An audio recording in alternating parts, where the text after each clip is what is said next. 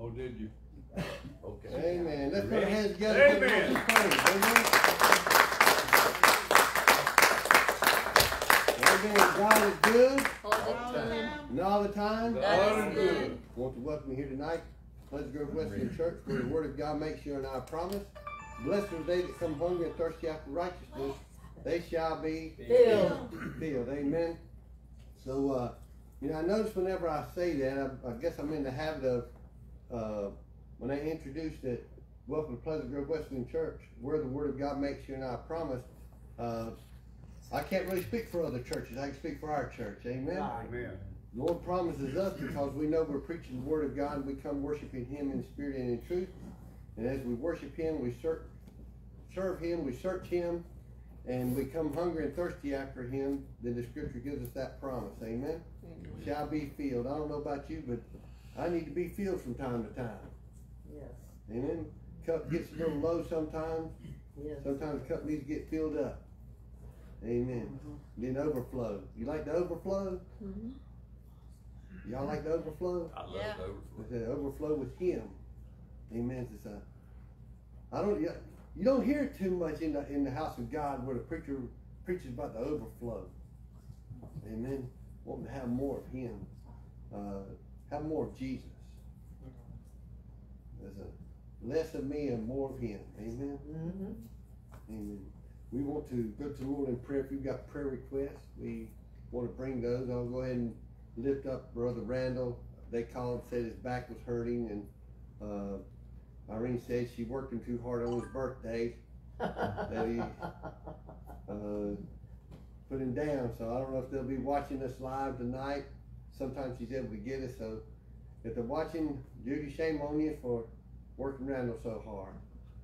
But uh, now we want to lift him up in prayer. I know they, you guys know, this is the crowd.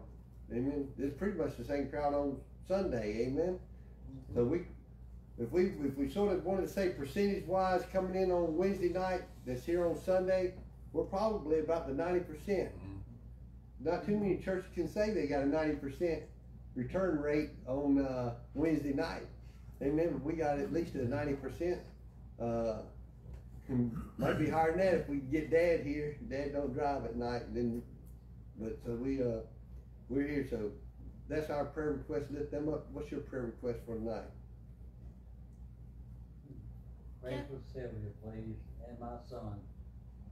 Keep him in your prayers, he needs prayer bad right now. He's going through a rough time. It ain't,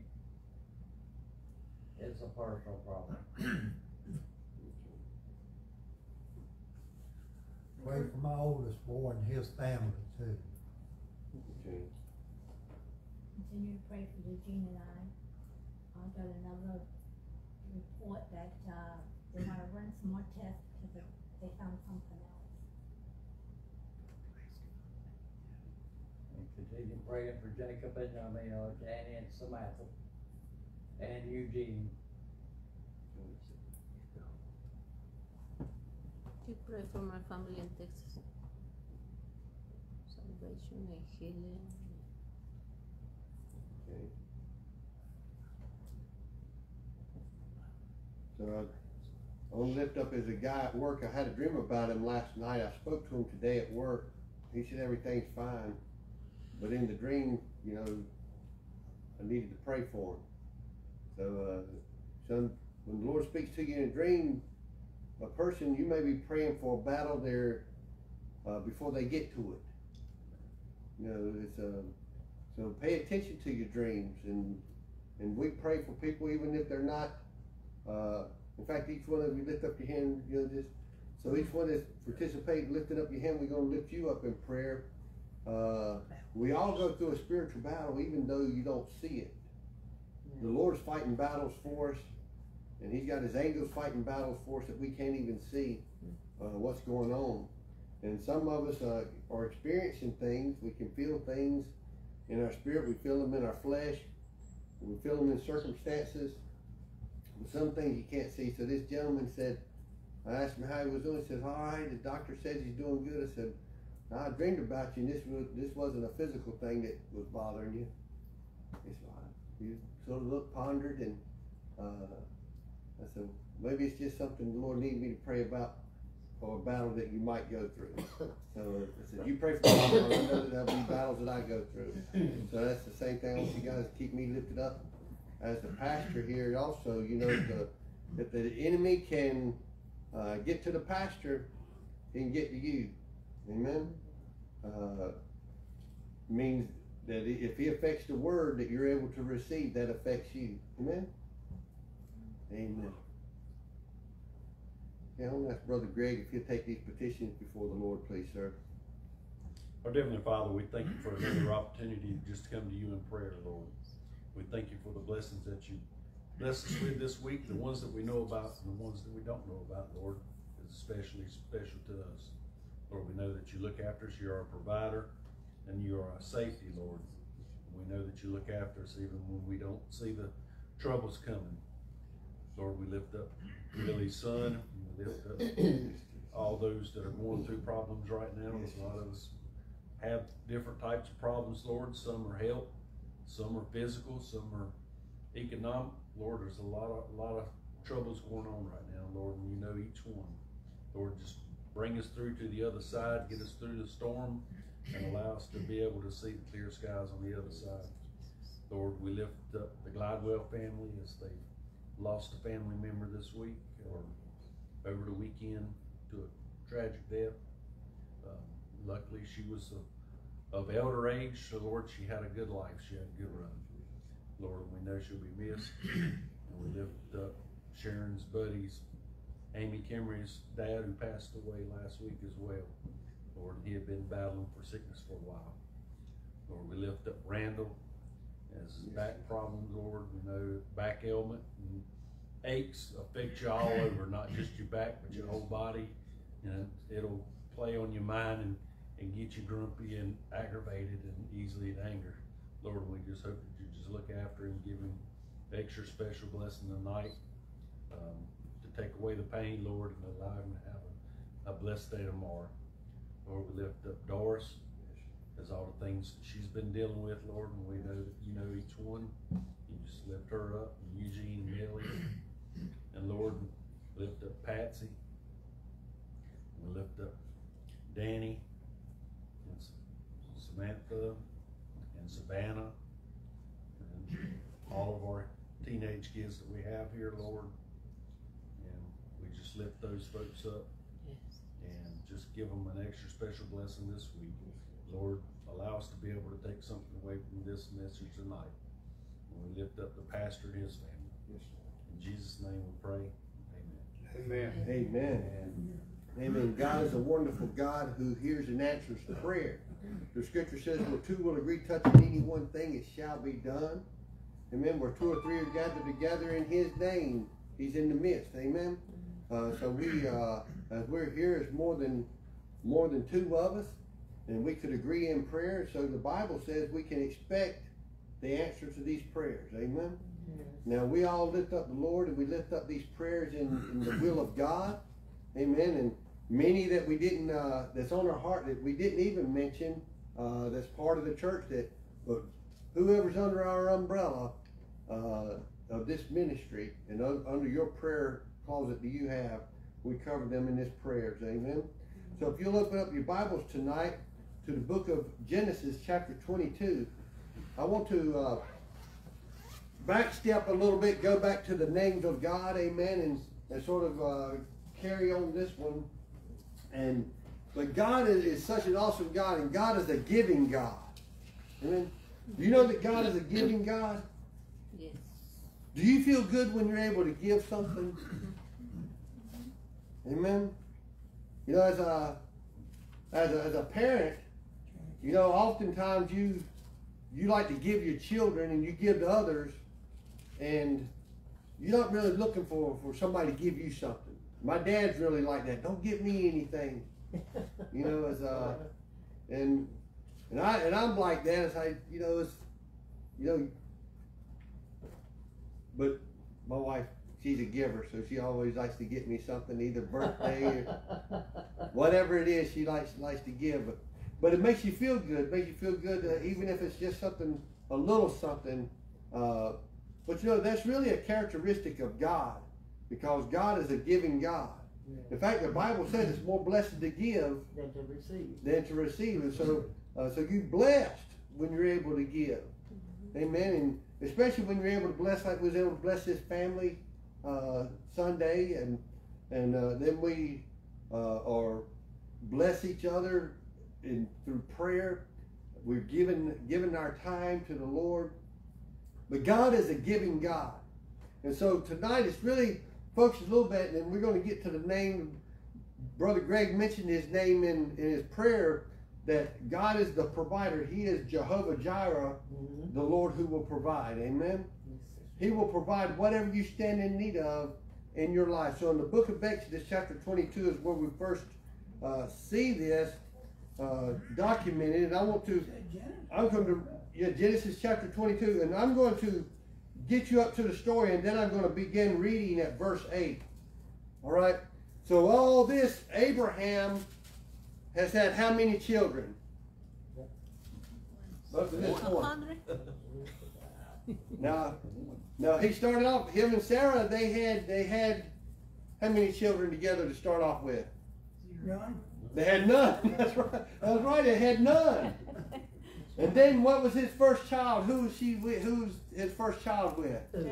Uh, Abraham. Abraham's first child. Ishmael. Ishmael. Right. But see, we then after Ishmael, he had who?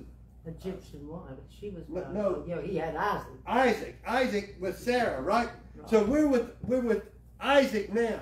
That's who we're getting ready to talk about. So God tells Abraham, He says, "Take your son, your only son, Isaac." So that makes you start wondering because you've already read up to this point, and we've already remembered by our testimony here tonight that he had Ishmael also. Why? Why would he say, "Take your only son"? What? What would God? Do you, now this could be an opinionated question. It's not really a right or wrong, but I sort of want a little bit of participation to help get me rolling tonight. Amen. Uh, so, brother Greg, what what would you say? Why he said your only son? maybe God realized that Hagar took Ishmael and left. She was totally out of picture. That's because she was totally out of picture. See, she was a he, he was Ishmael was the son of an Egyptian woman. So And from an Egyptian woman, not a Jewish woman, be right? That couldn't be part of the of uh, the covenant. But it still, it, it might not be a part of the covenant, but it was his son. yeah, it was But his see, but see, but, but see, you not. get a combination of things. Anybody else got a? It wasn't the son that he was talking about, though. Well, that was the It was son also, of him and Sarah. It's between him and Sarah. So you you can sit here, and, but that's what it is all about. Reading God's word, and you let your mind begin to experiment, begin to dig deeper, and God is is pleased when you letting your mind wander. Uh, Lord, what is this? What is this talking about? Is it because uh, Hagar had left? Is it because whenever God made he, uh, Abraham and Sarah promise that they're going to have a child? You know, and then was he out of God's will whenever he went into Hagar because Sarah sort of give up said, Here, take my handmaid and have a child with her, you know? And so could it have been this? Could it have been because Ishmael was a an Egyptian and, and not Jewish? The reason that, or Hebrew, is that why?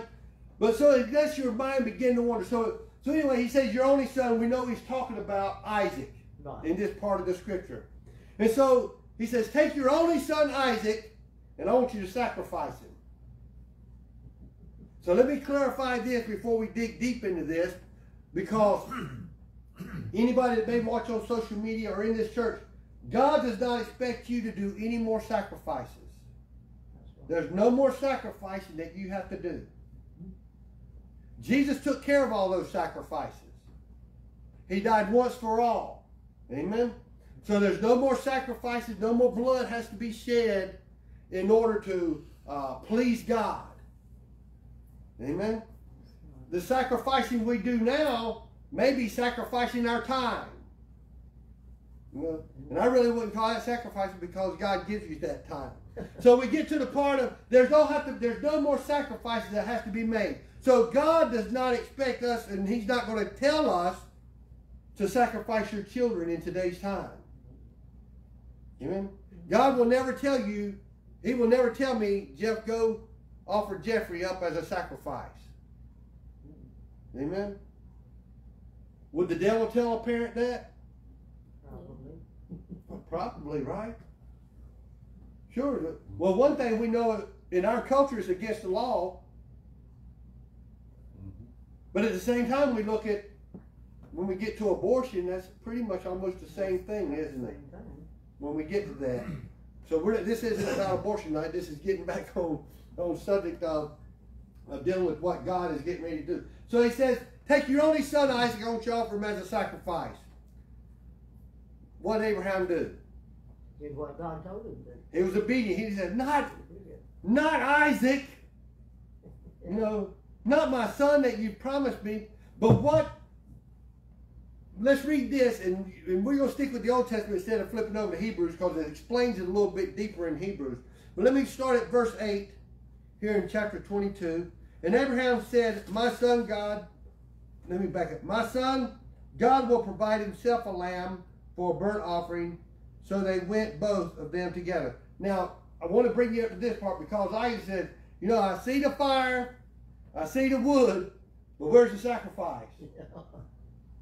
You know, now I can imagine. I know people. I didn't read it right here, but some people say Isaac was probably around twelve or something. Uh, when you hear people studying this out, Yeah. so so I visualize this because you know our children are around this age, and and I can visualize. I was thinking, Jeffrey said, you know, Dad, I see the fire, I see the wood. Where's the sacrifice? But Isaac had faith in his dad. He had faith in Abraham because evidently Abraham had spent some time talking with God and he was a holy man. He was a righteous man. He was a faithful man. So his child understood that whatever dad's deciding, it must be what God wants to do. He didn't question his dad, right? As far as after his dad explained this, God's going to provide. Okay, that's fine with him. We don't have that in today's time, is it? Amen. Now I don't want you to answer this, but your y'all's children are a little bit, uh, except for Katie, your other children are older, and so when the children ask something and you give an answer that they don't really want to hear, do they stop at that? No, normally they don't. They're going to keep asking or asking and- until they get to something that they're satisfied with, or, or that would really give them a more clear and definite answer. But in this time, we see that Isaac was following after God, or after his dad Abraham. So Abraham says, God's going to provide himself a sac- sacrifice. In verse 9, and they came to the place which God had told them of. And Abraham built an altar there and laid wood on it in the order, and bound Isaac his son, and laid him on the altar upon the wood. And I thought about this as I was reading it, is that whenever I was getting ready to get a spanking from my mom, I wasn't going to stand still. I was dancing trying to get away, but I couldn't get away from that grip. You know, especially when she starts swinging. Now, Isaac wasn't getting a whooping, but he's sitting here, okay, why are you tying me up, Dad? Yeah. You know, you know, why are you tying me up? So, so I was thinking it, it reminded me of the story where Jesus was like a sheep that was brought to slaughter. You know, he didn't he didn't try to resist. He just went on.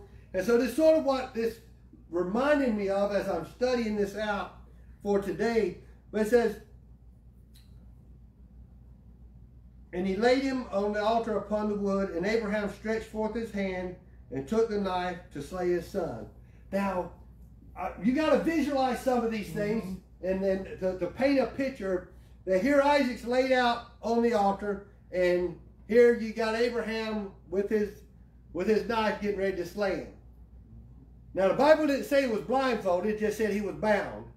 So I'm, I'd imagine those little eyes are probably looking up, like, Dad, what what are you getting ready to do here? You know. But then an angel of the Lord. And it said, The angel of the Lord called unto him out of heaven and said, Abraham, Abraham. And he said, Here am I. Now, this is one very important time that it's great you can hear God. So what if his relationship with God wasn't as, as clear and he didn't hear God?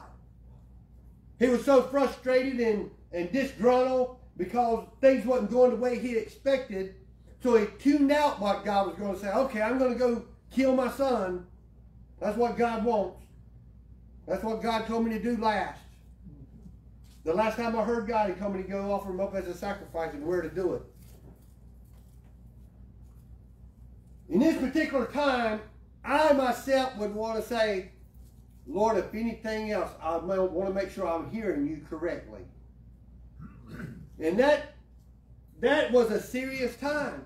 Could you imagine our life, the different things that we could avoid if we was more sensitive in our hearing and hearing of God? Hearing what God was giving us direction to do. So the way we tune in that hearing is to read, be faithful, to read the Word of God, to hear the Word of God, and to have that relationship with Him. So he says, don't slay your son. Amen. So let's get on with this. Because God is a giving God. And this is sort of what this is building up to. For this part says, uh, and he said, Lay not thy hand upon thy lad, neither do thou anything up unto him. For now I know that thou fearest God, seeing that thou hast not withheld thy son, thy only son, from me.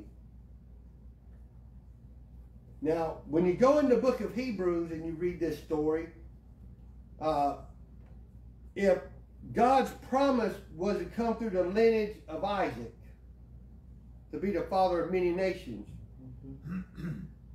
now, I've studied this, and, and it's, uh, it's preached this, that Abraham's faith was if I if I slay him, evidently God's going to raise him back up because he gave me a promise that he's going to I'm going to be the father of many nations and it's going to come through Isaac. Amen. So so evidently he's like, well God, you said you're going to do this. So if you're telling me to slay my son and I'm obedient, evidently you're going to turn right around and raise him up. Amen. So Abraham being a faithful man, you have to imagine, okay, could this be what he's thinking about at this time? So it says, And Abraham lifted up his eyes and looked, and behold, behind him there's a ram caught in the thicket. There's a big buck back there, right? So there's a ram caught in the thicket by his horns, and Abraham went and took the ram and offered him up for a burnt offering in the stead of his son. And Abraham called the name of the place Jehovah Jireh, and it is said to this day, in Mount of the Lord uh, it shall be seen. Amen. that Jehovah Jireh, that the Lord will provide. The Lord provided this sacrifice uh, after Abraham was tested on his faith. Was Abraham was Abraham willing to give his son? He was willing to do that. You believe Abraham loved his son? Oh, yeah. Yes. Do you believe Abraham told Sarah what was getting ready to go down? I doubt it. yeah, yeah, I can see that going over well, couldn't you? How about you, Brother Greg? I can see me telling my wife, you know, we've been trying for Jeffrey for, for 14 years, not not all the years that they had. 14 years, and then I feel like God wants me to offer Jeffrey on the altar. Amen. Y'all would probably get a call that Irene was in jail. and, I, and I was either in the hospital or at the morgue. Right? But Jeffrey would be fine. So I doubt that Sarah knew anything about this. And uh, because God was talking at this culture, God was talking to the male. God was talking to Abraham. He had made a, he had talked, to, and he talked to Sarah too. I'm going to give you a son. But I just have to let my mind imagine a little bit that there's something different about a mother's love. Here she done carried uh, Isaac for nine months in her in her belly, and and you know it's, it's just something a man can't imagine that kind of love. He didn't feel all that going on. Amen. Chicken Yeah. and But, but I mean, I know, like when Jeffrey, Irene was pregnant with Jeffrey, I'm sitting there, I'm trying to, and I'd talk to him, I'd sing to him, pray with him, saying Jesus loves me, this, I, you know, and, and all these things, and uh, then every day and then I'd feel him kick, but that wasn't inside of me. I had to feel it from the outside in. Irene, you know, the mothers, you can feel the baby from the inside out, right? So I doubt that Sarah knew uh, about this, but just just to let our minds wonder, do you believe that she would have agreed with Abraham to go ahead and do it? I believe she'd have hesitated a little bit. I believe she'd have I would hesitated. have. I believe they'd have had to talk it out. Yeah. And Abraham would have had to convince her, says, look, God promised, and if God promised, then he'll raise him up if, if, if he takes, if we have to slay him. Because he made us a promise, and he gave him to us, so evidently that's what God wants to prove something else. So I believe it had a, a heart-to-heart talk in this situation. Amen? So this is where it comes up to Jehovah Jireh, uh, that God will provide. Then, and our, our Lord will provide. Here we got him providing a sacrifice in the place of Isaac. We get over to the New Testament to where God provided the ultimate sacrifice, the Lamb of God. That was Jesus. That was Jesus Christ. That's right. And that's the sacrifice that once he was sacrificed, that was it was finished. There had to, there didn't have to be any more sacrifices. I often wonder uh, because I've not studied it out myself how the Jewish custom, if the Jewish customs was offering all these sacrifices during these biblical days, and if they don't recognize Jesus as the supreme sacrifice, then where are all the sacrificing things going on now for the ones that if they still carry on that tradition? Because there's many. I work for a Jewish, the Jewish. There's a Jewish owner of the company I work for. So when it comes to Jewish holidays, uh, they follow every one of them. So this year, not many Jewish holidays is in my work schedule. But when it's in my work schedule, we get that day off. By Friday, everybody has Friday evening at sundown, everybody has to be out of the factory. No work going on. No work going on on Sunday or Saturday. Now we can come to work on Sunday, but we can't work on Saturday. We can't work on these other Jewish holidays. And some of these Jewish holidays was you can come to work, but you can't make money. You can't make production. So they would do inventory or clean up, but you can't actually produce. You can't run the equipment to actually package and produce finances. But I've not heard of him. Now I've met him, and when he comes, he comes to the work. He's he's got a beard, and he he wears a, a like a belt, uh, a rope belt type thing, and uh, he wears his the, Little beanie. the little beanie thing. And uh, but there's several in his family that are the upper management that none of them work at this factory here, but they come from New Jersey and they come down. Amen. So when we we see this, is that I, I wonder that where's everybody's customs now? But Jesus says he come once for all. The Bible says Jesus come once, he sacrificed once for all. There didn't have to be any more sacrifices for our sin. And so when we, we look at this, there's a couple things I want to point out in book of Psalms, chapter 37. This is some of this is stuff I've read to you before. Book of Psalm. Let me turn over there. Book of Psalms, chapter 37. We've read this before, but not really looked at it at this particular angle, if you'll let me like say it like that. 34 and verse 4. But I like these the 3 and 5 so much I want to add those. Trust in the Lord and do good, so shall I dwell in the land, and verily thou shalt be fed. Delight thyself also in the Lord, and he shall give thee the desires of thy heart. Commit thy way unto him, excuse me, commit thy way unto the Lord, trust also in him, and he shall bring it to pass. And this is this is pulled into God being a giving God, a providing God.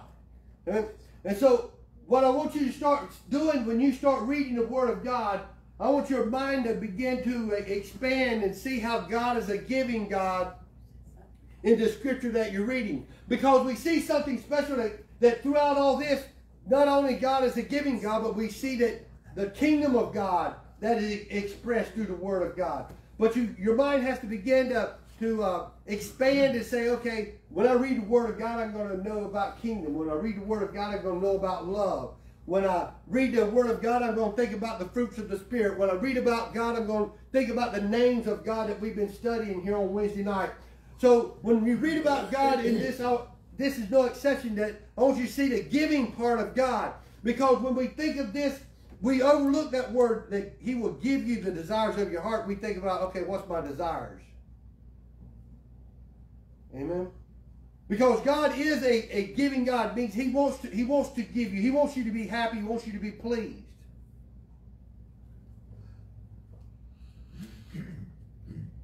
But God is also a taking God. Mhm.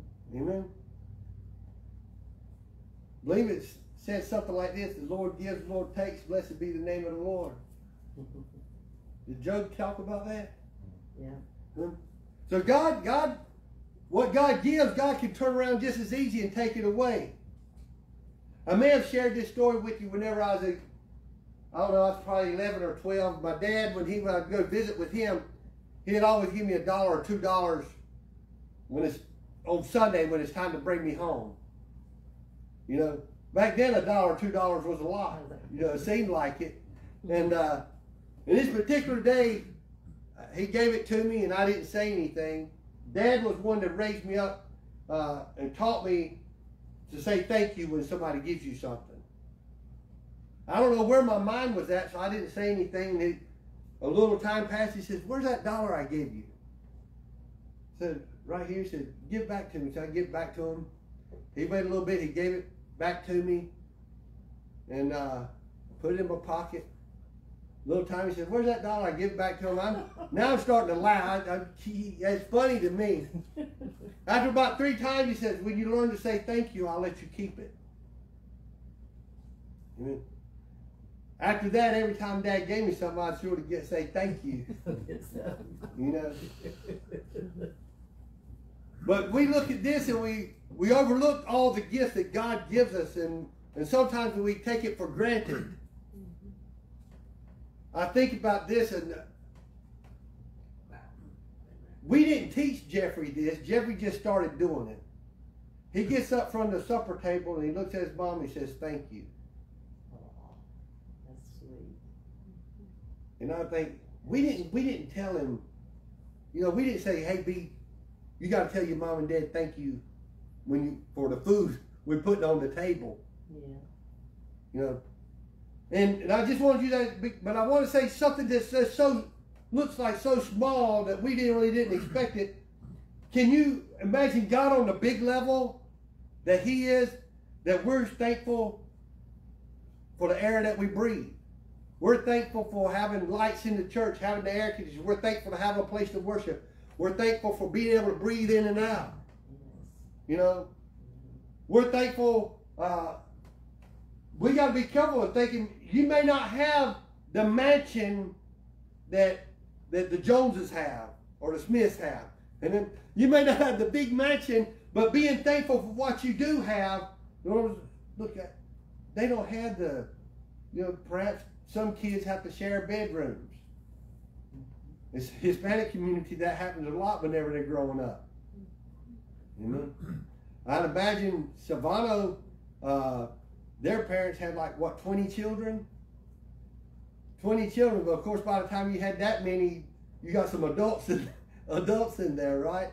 But but during that time, you know, you've got some that are uh, now Savannah was my brother-in-law, that's her sister's husband. So so they uh so you have to imagine in, in the olden times when the families were known to be so big, a lot of people shared rooms. Amen. Me and my brother, we had bunk beds, right? So uh, you you look at some of these, but being thankful even for just having what little you do have, and realizing that God didn't have to give you what He did give you.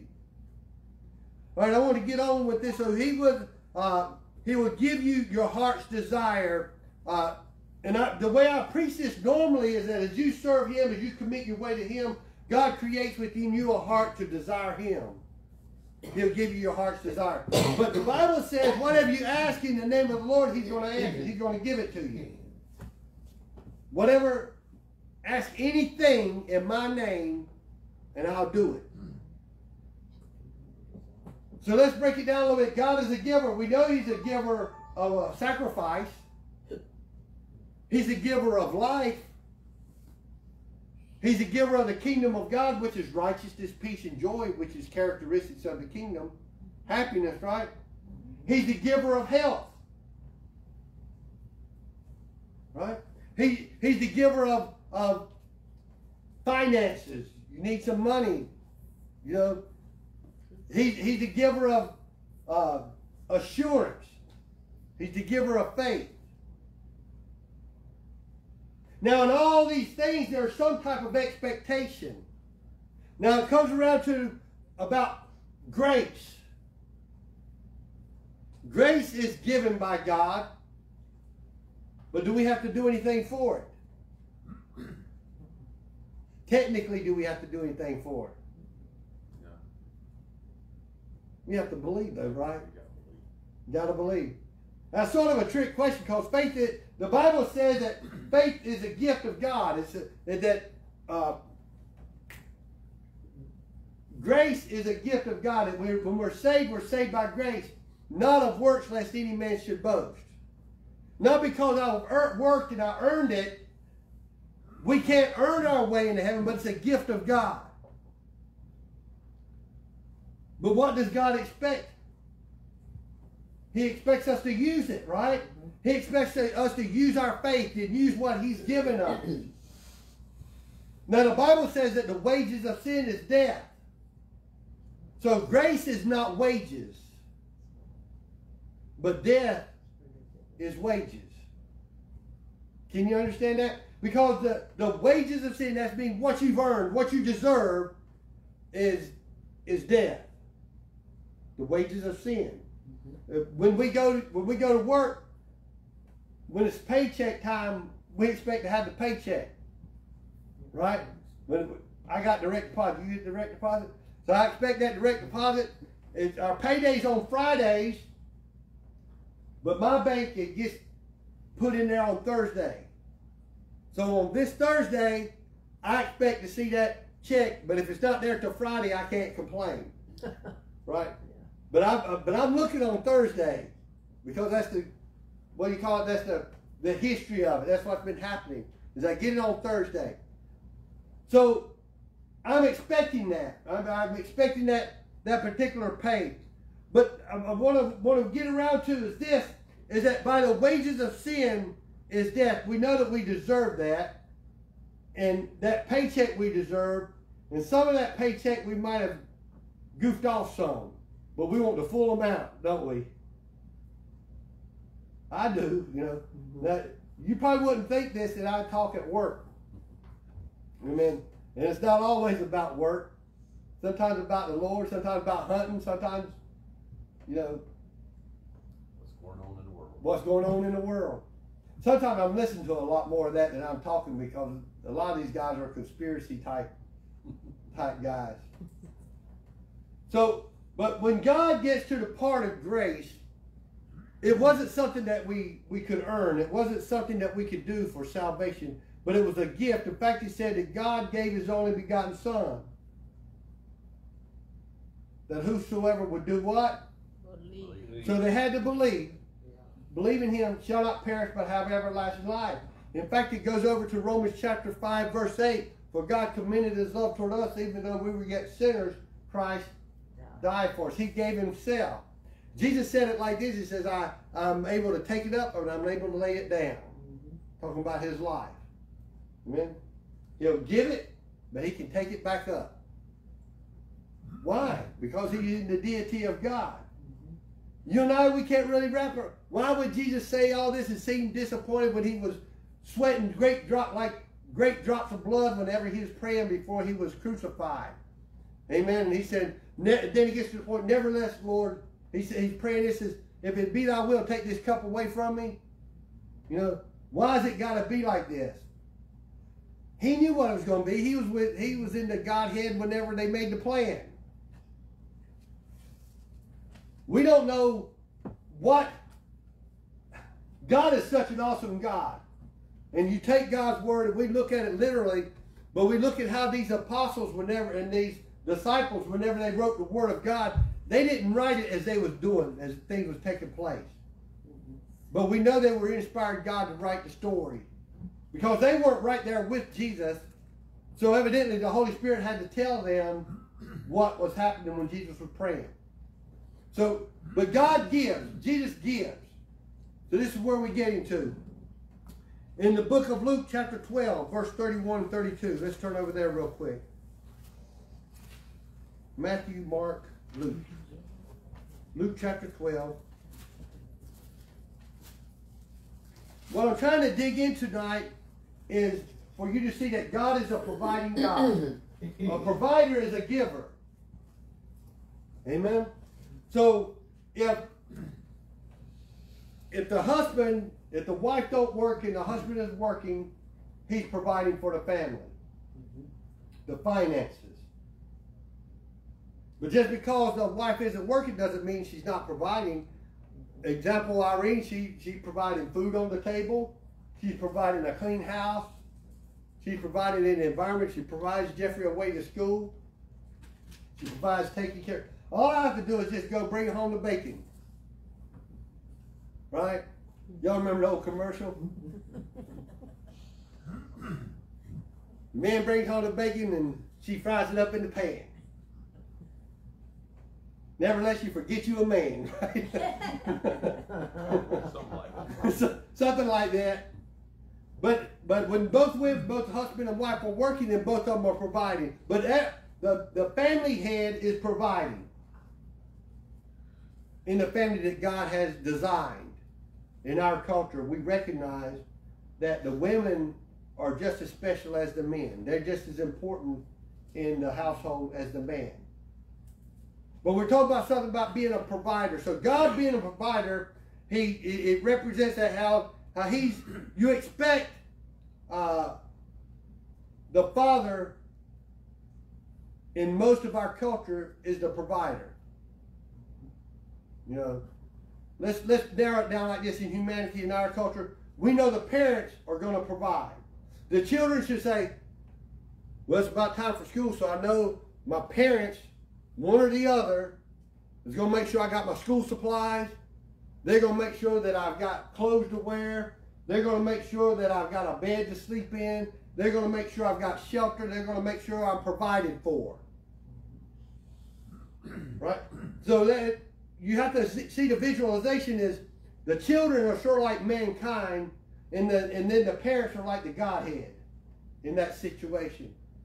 But they're looking up, they're faithful that until that parent lets them down, then their faith is going to be in that parent. Would you agree? Now, would you also agree that God don't let you down? So there should be never be a reason to drop that faith or understand that God is providing all of what we stand in need for. In fact, it goes to kingdom of God, Matthew 6 33. But seek ye first the kingdom of God and his righteousness, and all these things shall be added unto you. Amen. And he, the preceding verses of that in Matthew 6 is talking about don't take no thought about what you're going to put on and, and uh, how you're going to be dressed up. He says, uh, Solomon in all his glory, you look at these lilies in the over here that, that if you'll let me add live a little bit, that Solomon in all his glory wasn't as beautiful as these. All these flowers, what God's created is, is more beautiful than all the gold and the riches and the garments that Solomon had. So don't get wrapped up in the possession of things, but seek first the kingdom of God. Now God is going to give you that. We know the scripture it says uh, that, that that God will supply all of your need according to His riches in glory. He's going to give you what you stand in need of. And we shared this not too long ago that if we can't be thankful over a bottle of water, why would God give us a case of water? If we can't be thankful over having 15 or 20 people at the church, why would God give us 100 or 150 to fill it up? Amen? If I can't be thankful and satisfied preaching to one or two, why would God let me pasture 15 or 20? And if I'm faithful over 15 or 20, And I'm thankful for that. What's to say he's not going to bring in 15 or 20 more? Mhm. Amen. And I use that as an example because we got to be thankful and realize that one of you, Jesus would leave the 99 and come to find. Amen. One of you by yourself is just as special as there is for a, a whole church full because God loves it. And each one of you needs to hear a word from God. you know, I love to tell stories. I don't know if I told this story. If I told the story, I'm going to tell it again anyway. So, a farmer comes to his old small church, and they had a guest preacher come in. So the farmer was sitting there, and the guest preacher pulls up. He opens up the door. They come in, and there's just the farmer. And the preacher said, "They're waiting." He says, "Well, you think we ought to get started?" The farmer said, "Well, why you ask me?" He said, "I'm just a farmer. But if all I had was one cow, I'd still have to feed him." Well, that motivated the preacher. Preacher got to preaching, and, and his preaching hard and going strong. And he looks out. He says, "You think we ought to stop?" He said, "Why do you ask me? I'm just a farmer. But if all I had was one cow, I wouldn't feed him all that I had." so, Lonnie told told that story. But but you see that that that uh, but you are special that God wants to give and He He wants us to be faithful. And for me as the pastor, it's not for me to go see what are greener pastures or what other opportunities. This was an opportunity uh, that I wasn't looking for to start with. But I'm thankful and we love coming here to Pleasant Grove. We love sharing the word. And we pray that you guys get as much from us as we get from you.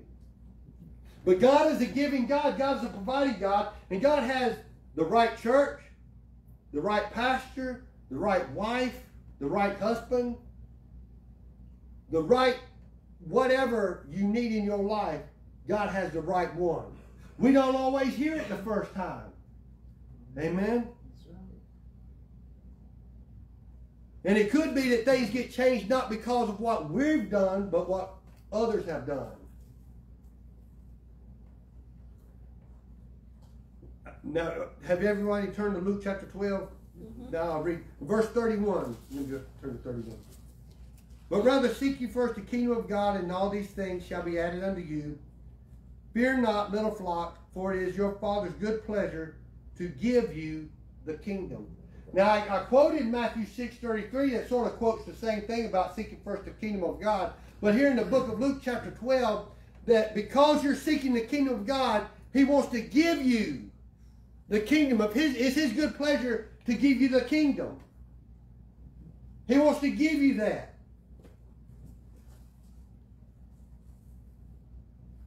This, this is sort of a loaded question.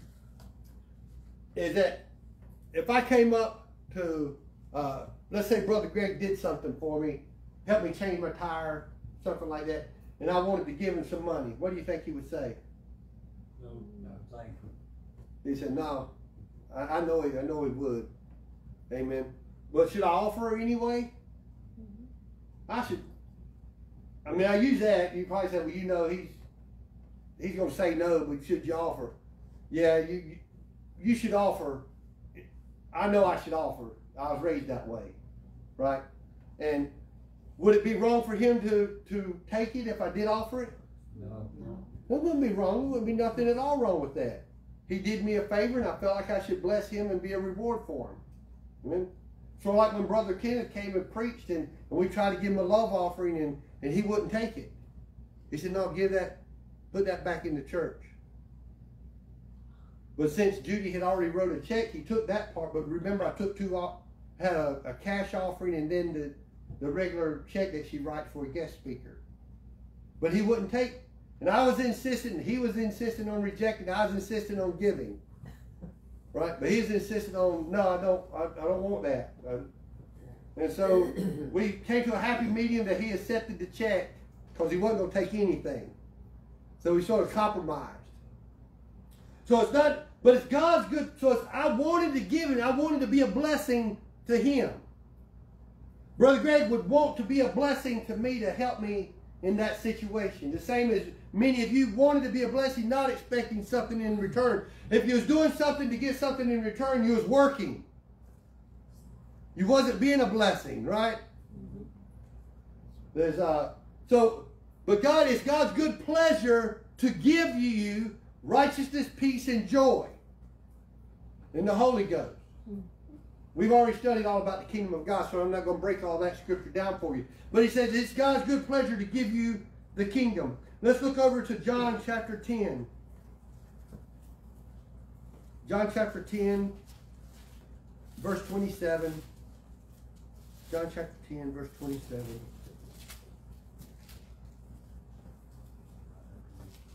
Let me back up to 25 since it's in red. I told you and you believe not. The works that I do in my Father's name, they bear witness of me. But you believe not, because you are not my sheep, and I said, as I said unto you, my sheep hear my voice, and I know them, and they follow me. And I give them, excuse me, and I give unto them eternal life, and they shall never perish, neither shall any man pluck them out of my hand. Jesus says, I give. He's the provider of eternal life. We have eternal life because Jesus gives it to us. But can we resist it? It's the same- If I wanted to give, you could resist it. Mm-hmm. All right. Now, let's say I, I give it to him, the blessing because he helped me change my tire, and he turns around and gives it back to me. I want to be a blessing back to you. So he could receive it, but then he gave it back to me. When Jesus gives us eternal life, we can choose if we keep it. Now, I'm not trying to get into this losing your salvation. Because if I truly am born again, I truly want to live for the Lord, I'm going to follow what the Word of God tells me. I may make mistakes along the way, but if I make a mistake, I know that I'll hear from God to, to convict me, and I'm going to repent. And God gives me that gap insurance that we've talked about. He gives me a grace window. The great thing about God is He knows that if it's going to take me a day or a week, There's a scripture that says there's a sin unto death and there's a sin not unto death. There's a there's a breaking point. The straw that broke the camel's back, so to speak. So we can get to that point. The preachers, your mom, your dad, we can't tell you what it is, what sin it's going to be, if it's number one, number two, number three, or the fourth, or the hundredth sin that you do, or the millionth sin. But one of those sins is going to be too long and and too late. Amen. So what the Word of God teaches me is if I if I have sin, confess my sin, and He's faithful and just to forgive me of my sin, He's going to give me that forgiveness because He's a giving God. Not because I deserved it, but I had to do something. I had to believe, and I had to confess. I shared this with you before. I do what I do because I'm saved. I'm not saved because I do what I do. Brother Greg, you're not saved because you teach Sunday school. You're not saved because you, you go out here and you mow the yard after you've been working all week. Miss Sharon, you're not saved because you play the piano. That you got a sore thumb and, and you still push through. People don't know that you have to use that thumb to play the piano. I know you have to use the thumb to play the piano. You're not saved because you come and clean the church. Because you vacuum the floors and make sure it's presentable for Sundays or for Wednesdays. You're not saved because you give the pastor of uh, filling my cup up. I was using it this week uh, about uh, fill my cup. Miss Patsy had give me a coffee cup, talking about uh, filling up my cup. You know, because I talk about that. Come in with your cup ready to get it filled up. And you're not saved because you, you give the gifts. You're not saved because you're faithful to the church. You're not saved. Uh, you're not saved because of uh, uh, the things you do. You do these things because you are saved. The characteristics of God is to, to love, is to give, is to share, and to be faithful. So you start following those characteristics that God has instilled with you. But as soon as you start thinking, I'm, I've got all this because of what I've done, that's when we start making a mistake. That's when it starts saying, Where's that dollar I give you?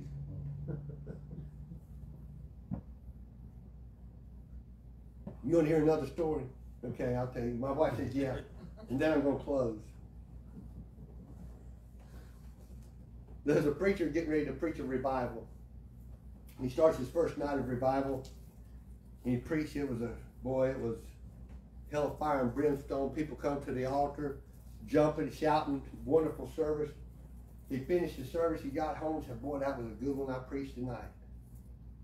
Got to the second night of revival. You, you could heard a pin drop, no participation. It was just dead wood.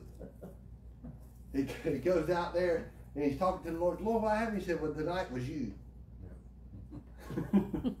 you know, so so when we think that we're all that, we start realizing if anybody is blessed in this church, if you see anything good in my life, may God get the glory for it in the name of Jesus Christ.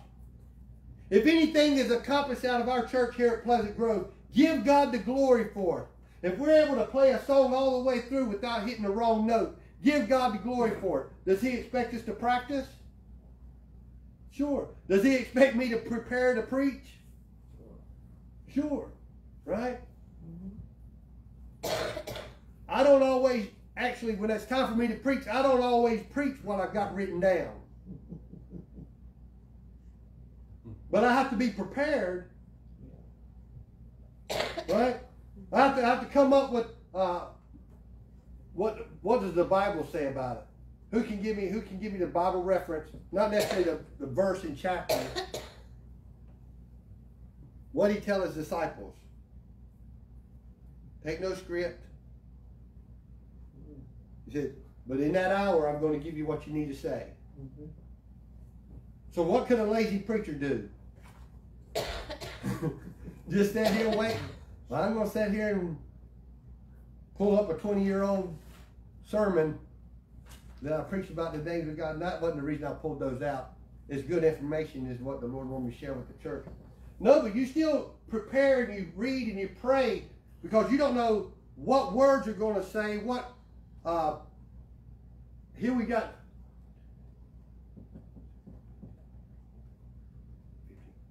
15, 15, 16 counting me. I'd have to hear the word of God too. So we can all come in here and you think of each one of us has a little something different that we went through today. Sometimes you can't say and stay on topic in a sermon. Brother Greg, I know you feel that whenever you're teaching Sunday school because uh, when you're, a lot of your Sunday schools are like sermons. And some people may not recognize it, but you, I know people that study and they actually teach, they realize, well, that's like a sermon because that wasn't part of the lesson plan. Because God feeds us, and He's got all these different people that He has to give us information. So, what did we focus on mainly tonight? Is that a trick question? Lord provide. The Lord provides. He's the giver, right? He's the giver of salvation. What else does he give? Grace. Grace, health. Wisdom. Endurance, What's that? endurance, Endurance, faith, faith, grace. grace. Somebody give me. I think we said grace before.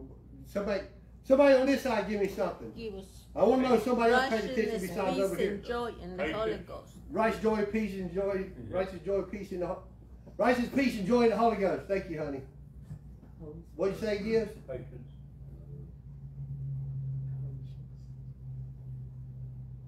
Joy. Joy. Now I want to pause just one second because I like the way way Brother Junior said that. One thing I never pray for is patience. And that's what we need most of, right? Sometimes. Why, do, why wouldn't I pray for patience? Because you're gonna get more trouble. What, do, do, do you know a Bible verse that talks about that? As soon as I quote it, you'll know it. Because I've learned this in order not to pray for patience. The trying of your faith worketh patience. Yeah? Now, who wants to be stronger in the Lord? Yeah. We was a little reluctant because I just said that. I don't know if I don't know if I want to say out that or not, right? I already know I don't want to pray for patience because I want my life to be nice and smooth, right? We all technically want that nice and smooth, right? I work with a, a new guy. We got a new electrical engineer. This bottle is bigger than his arms, right? He uh, he's he's a geek, you know, a computer nerd. No, that wasn't derogatory. That's just what they, you call the computer people. Uh, so I wouldn't expect. I wouldn't go get him to help me pick up this this piano, uh-huh. right? if I need to pick it up, I get Greg, but I wouldn't. I wouldn't go get this guy. But Greg is used to picking up heavy things, right? Mm-hmm. Either working hard, getting that, right? Convert that to your faith. When to be prepared for battle, battle, you have to go through valleys. You have to go through difficult times. It makes you stronger. God's not going to let you go through a battle that you can't be so victorious over. Or Victoria. You can't. So to be victorious over or, or through in a way that He gets the honor and glory. So yes, we'll all face some battles. We'll all face some resistance. We'll all face some things in our life because God wants us to be better and prepared to be victorious. Amen. Let us pray. Y'all ready to pray? It's easy to keep going, but it's, we're going to stop. Heavenly Father, we come to you tonight in Jesus' name to give you thanks, praise, honor, and glory.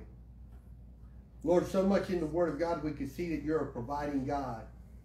And tonight we're thankful, Lord, for for all, not just being uh, disrespectful to say we, we're thankful for all that you do for us because you've done everything for us, Lord. You've given us the air that we breathe.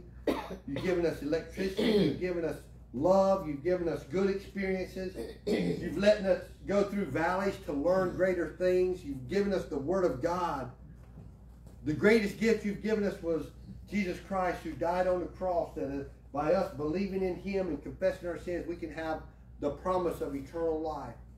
And so, Lord, we're thankful for, for even, even if you don't do anything else for us, we're thankful for what you've done for us and you've given us that promise of eternal life. Lord, I pray for a protecting boundary around all these that are under uh, our watch tonight, that may be watching on social media. Lord, I pray for your protection to be upon them because we know that the enemy is like a roaring lion seeking who he may devour. He wants to keep, seek, kill, and destroy everything that God is doing in our life. But tonight, we've learned that our God is a providing God and provides everything that we stand in need of.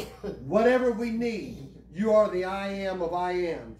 You are the I am of whatever we stand in need of, that you're there for us, Lord. Lord, if I need, Lord, comfort, you're my comforter. Lord, if I need guidance, you're my pastor. You're my good shepherd.